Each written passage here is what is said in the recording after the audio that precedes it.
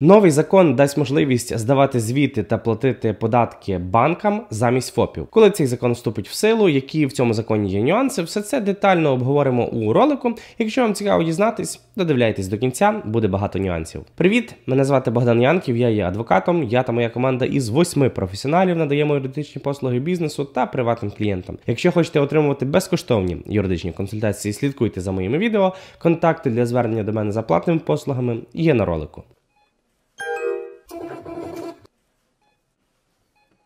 У Раді зареєстровано законопроект 8226, ініціатором якого є народний депутат Ярослав Железняк та серія інших народних депутатів. Суть закону полягає в тому, що він дозволить банкам здавати звіти і платити податки замість ФОПів, тобто бути податковими агентами. Насправді закон спрямований досить на невелику кількість ФОПів на третій групі, які отримують монотонні платежі. Якраз зараз детально цей закон і будемо обговорювати. Ну а законопроект, як завжди, залишу в себе в телеграм-каналі, щоб ви змогли почитати перше джерело. Можливо, ви зустрічали раніше новину, що в Україні має от-от з'явитися така штука, як електронне резидентство, тобто будь-який іноземець зможе зареєструвати в Україні. Україні ФОПа і платити податки сюди в Україну. Очевидно, що ці гроші будуть отримуватися теж на український банківський рахунок, і саме українські банки зобов'язані в таких іноземців платити податки і здавати звіти за таких іноземців. Вам для того, щоб скористатися цією системою, треба буде зареєструвати ФОП на третій групі 5%.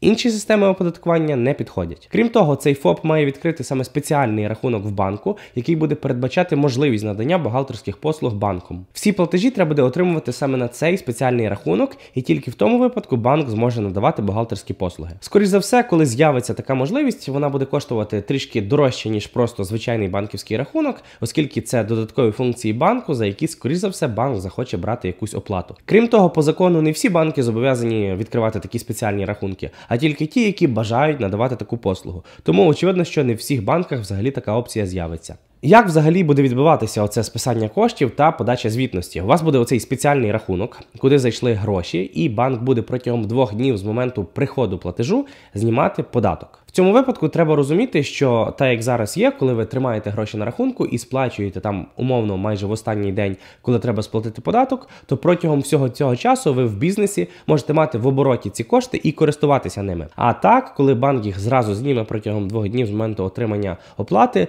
то в цьому випадку відповідно ви оборотом користуватись не зможете. Але насправді на перший погляд виглядає все досить непогано, прикольно і ефективно. І, до речі, в мене досить часто клієнти навіть на консультаціях питають, чому, наприклад податкова чи банк автоматично не стягують гроші, а їх треба нараховувати самому. І сплачувати податок теж треба самому. І в цілому для цього є насправді певна концепція, тому що коли ви платите податок самостійно і відчуваєте, що ці гроші віддали, то в такому випадку виникає така штука, як відчуття обов'язку сплати податку, а відповідно і вимога від держави претендувати на певні соціальні чи інші послуги, а також на наявність інфраструктури. І, наприклад, в США у вас є на товарі один цінник, а коли ви прийдете на касу, буде цінник трошки вищий. Справа в тому, що на касі донараховують податок, і отак, коли потрішки всюди щіпають цей податок, то громадяни відчувають, що вони мають права, мають право щось вимагати від держави, і це є певний такий принцип, який власне показує громадянам те, що вони утримують державу, а відповідно мають право претендувати на якісний сервіс. Тому не завжди добре автоматичне стягнення податків.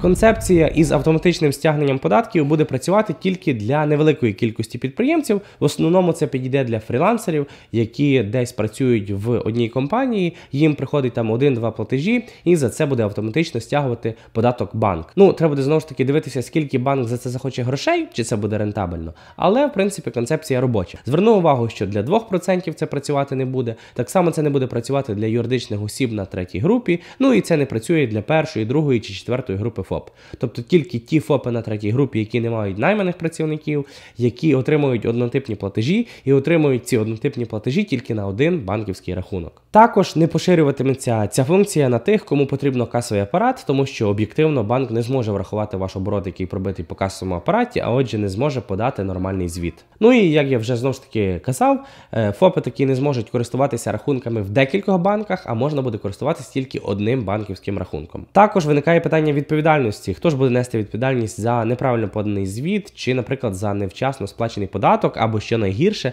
за податок, сплачений на неправильний рахунок. Це найбільша проблема. Адже в законі визначено, що податок буде платитися за місцем реєстрації підприємця. Місце реєстрації підприємця може, наприклад, в певний момент змінитися. Про це підприємець невчасно повідомить банк, і виникне питання того, що податок пішов на не той рахунок, а це може бути навіть наслідком до того, що позбавлять спрощеної системи оподаткування. І хто буде нести тут відповідальність? Це питання досить підвішене. Ну знову ж таки, закон тільки на стадії обговорення, тому побачимо до чого це дойде. Насправді, в плані цієї автоматизації по стягненню податків є і позитивний досвід, є і негативний досвід. Наприклад, банки досить добре стягують податки по депозитах, 18% податок на дохід і 1,5% військовий збір, і нормально подають звіти. Зазвичай з цим проблем взагалі ніяких немає. Але знову ж таки досить негативно реалізована функція автоматичної реєстрації ФОПа, яка дає постійні збої, і їх досить складно вирішити, тим більше складно додзвонитися до якогось державного реєстратора. Крім того, не дуже позитивно себе зарекомендувала функція єдиного рахунку зі сплати податків. Вона теж не користується популярністю.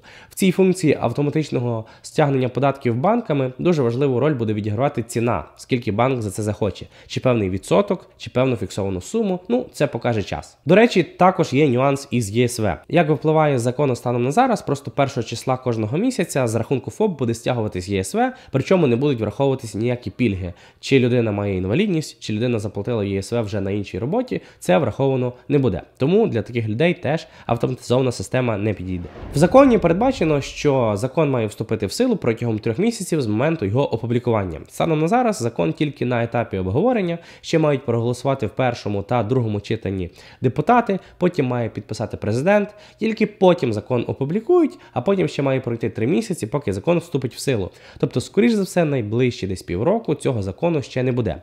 Більше того, навіть якщо закон буде, банки мають його імплементувати і почати надавати таку послугу. Коли вони це почнуть робити, поки що теж невідомо. Хоча потенційно як преміум послуга з бухгалтерського обслуговування до преміум рахунку, можливо, це будуть додавати якісь банки. Тим не менше, не переключайтесь, нажимайте на моє наступне відео на екрані, в якому я розповів, що скоро взагалі обіцяють ввести закон, яким дозволять здійснювати бізнес без ФОП. Там розповів всі деталі, тому побачимось в наступному ролику. Він для вас буде корисним.